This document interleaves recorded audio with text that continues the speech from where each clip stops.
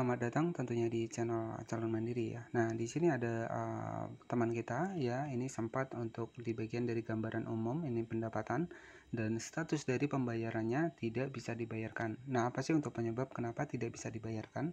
Ya, untuk pendapatan dari Facebook ini. Nah, ini ada beberapa faktor penyebabnya, teman-teman ya. Jadi di sini tulisannya merah tidak bisa dibayarkan, ada 6,8 dolar, ya ada 0,01, ada 0,26 dolar ya. Jadi uh, kenapa sih ada status dari pembayaran yang tidak bisa dibayarkan seperti ini? Nah, kita akan bedah di video kali ini. Oke, selanjutnya di sini kita masuk ke bagian Facebook tentu untuk harapan kita semua ya. Oke, tentu untuk harapan kita semua ya dari Facebook ini kita bisa mendapatkan penghasilan dan juga bisa dibayarkan. Ya, tetapi kalau statusnya tidak bisa dibayarkan seperti itu ada beberapa faktor uh, penyebab ya kenapa untuk pembayaran kita statusnya tidak bisa dibayarkan. Tetapi kalau nanti sudah dibayarkan itu ciri-cirinya adalah seperti ini. Kita masuk di bagian menu pembayaran seperti ini dan di sini kita masuk di bagian gambaran umum. Ya, ini ada sekitar 15 dolar teman-teman ya. Kemudian di bagian transaksi di sini uh, tulisannya akan hijau. Kalau statusnya masih diproses itu akan aman, tetapi kalau statusnya sudah merah seperti tadi tidak bisa dibayarkan, berarti ada penyebabnya. Nah, di sini kalau statusnya sudah dibayarkan, nanti teman-teman bisa cek uh, bisa cek di bagian bawah ya. Jadi uh, saya sempat mendapatkan sekitar 100 dolar dan ini statusnya sudah dibayar ya. Oke sebentar di bagian bawah teman-teman ya. Nah ini ya. Jadi ada sekitar 101 dolar statusnya sudah dibayar seperti ini. Di sini dibayar dibayar dan juga diproses. Kalau masih diproses ini masih aman. Berarti nggak ada yang masalah dari pembayaran kita. Tapi kalau tidak bisa dibayarkan artinya ada beberapa faktor ya nah ini sebagai referensi penghasilan saya dari uh, Facebook di sini sudah 100 dolar ya statusnya hijau dan sudah dibayar Oke, jadi ada beberapa penyebab kenapa untuk pembayaran kita statusnya tidak bisa dibayarkan. Salah satu yang pertama adalah kesalahan dalam pengisian metode pembayaran. Ya, informasi alamat metode pembayaran yang salah itu bisa berakibat pembayaran tidak dibayarkan. Kemudian juga yang kedua, ya uh, salah masukkan untuk uh, versi bank ya bank yang nggak bisa mengkonversikan dalam bentuk dolar. Jadi pastikan teman-teman harus menggunakan bank-bank uh, yang besar ya yang bisa mengkonversikan antara dari dolar ke rupiah ya. Kemudian untuk yang ketiga adalah kesalahan kode SWIFT ya. Kesalahan kode SWIFT itu juga bisa berpengaruh ya. Jadi kode SWIFT nanti kita juga akan diminta kode SWIFT ya. Kemudian juga yang keempat ini verifikasi pajak juga harus benar ya. Kemudian yang kelima ya data diri kita. Mungkin itu juga salah ya. Jadi makanya setiap uh, saya memberi penjelasan tentang di bagian pembayaran ya memang harus teliti. Karena itu adalah ya bisa kita bilang adalah jantung utama kita untuk mendapatkan penghasilan. Jadi ya memang harus teliti teman-teman ya. Kalau nggak tahu ya kita bisa nonton tutorial di Facebook itu banyak tentang uh, metode pembayaran bagaimana cara mengisi payout ataupun metode pembayaran untuk di Facebook ini ya pastikan siapkan data-datanya dengan tepat dan jelas. Jangan sampai ada kesalahan satu nama pun ya.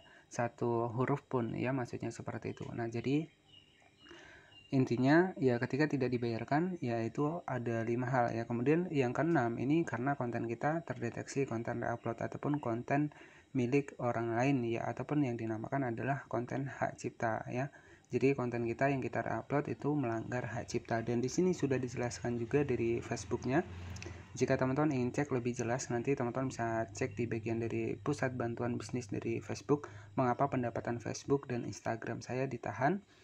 Ya, jadi terkadang pendapatan yang kita dapatkan dari iklan in-stream di Facebook ya, biasanya hal ini terjadi karena ditahan ya. Ini biasanya hal ini terjadi karena klaim hak cipta atas konten di video Anda yang belum terselesaikan. Artinya kalau ada pelanggaran hak cipta, ya memang pembayaran kita statusnya ditahan bahkan tidak dibayarkan. Karena apa? Karena di sini ada dua opsi. Yang pertama adalah pemegang hak cipta belum membuat keputusan terkait tindakan yang uh, diambil pada konten yang kita reupload ya. Kemudian yang kedua adalah kepemilikan konten yang ditemukan di video Anda belum ditentukan. Ya. Nah, artinya konten yang kita reupload ini ataukah milik dari uh, pemilik asli videonya atau milik kita. Nah, ini belum kita tentukan. Nah, itulah salah satu penyebabnya untuk pendapatan kita juga bisa ditahan bahkan tidak dibayarkan. Di sini sudah jelas ya. Terkadang pendapatan yang dikumpulkan dari iklan in-stream di Facebook bisa ditahan ya di Facebook dan Instagram bisa ditahan. Di sini statusnya ya. Biasanya hal ini terjadi karena klaim hak cipta. Jadi sudah saya jelaskan ber ulang-ulang bahwa klaim hak cipta ini juga bisa mempengaruhi pembayaran kita ya dari pembayaran yang nggak dibayarkan ya Kemudian pembayaran Anda bisa ditangguhkan 90 hari. Di sini sudah jelas ya. Jadi biasanya kalau Facebook sudah memberikan informasi seperti ini, itu akan tetap sesuai dengan faktanya ya. Dan itu pun sudah jelas ya banyak sekali konten kreator yang mungkin melakukan reupload kemudian sudah tembus jam tayang, sudah mau gajian tiba-tiba pendapatannya nggak dibayarkan ataupun ditahan ya. Nah, itu memang uh, salah satu aturan dari Facebook ya di mana ya Facebook ini menginginkan ya untuk pengguna Facebook ini agar uh, bisa menentukan ya untuk konten mana sih yang konten asli ya agar ya pengguna di Facebook ini juga bisa betah di Facebook. Intinya Facebook ini hanya mengutamakan untuk pengguna Facebook agar tidak merasa tertipu. Makanya selalu ada yang dinamanya yang dinamakan adalah konten uh, berita palsu. Mungkin ya teman-teman juga pernah melihat ya banyak yang membagikan pelanggaran-pelanggaran berita palsu. Nah, artinya ya dari Facebook ini melindungi untuk pengguna-pengguna di Facebook dari informasi-informasi yang tidak valid ataupun yang tidak dijelaskan dari sumber mananya. Itu masuknya dalam kategori berita uh, palsu ya dan itu masuknya dalam standar uh, pelanggaran standar komunitas. Dan ya dampaknya ya sama, ya dampaknya ya pembayaran itu statusnya bisa ditahan bahkan seperti tadi tidak bisa dibayarkan dan ada tulisan merah ya jadi itu sebagai referensi dan juga sebagai motivasi saja buat teman-teman semua. Ya intinya ketika kita agar kita menjadi konten kreator dan editing video nggak sia-sia ya usahakanlah kita membuat sebuah konten asli untuk di Facebook ini ya agar untuk ke depannya kita juga bisa mendapatkan monetisasi. Ya bahkan terus terang kalau kita menggunakan konten asli ya itu ya tentunya monetisasi itu akan datang sendiri ya monetisasi tiba-tiba akan muncul. Misalkan tiba-tiba monetisasi bonus itu bisa diaktifkan padahal sebenarnya kita nggak mengharapkan yang monetisasi bonus ya tetapi ya monetisasi bonus datang sendiri karena dari Facebook menilai dari keaslian konten kita ya jadi seperti itu. Nah jadi intinya uh, banyak sekali faktor ya sebenarnya yang menyebabkan untuk uh, status pembayaran di Facebook ini tidak dibayarkan Ya, salah satu yang pertama ya karena konten tidak asli bisa ditahan dan ditangguhkan 90 hari. Kemudian salah pengisian metode pembayaran untuk informasi bank, alamat data diri itu salah.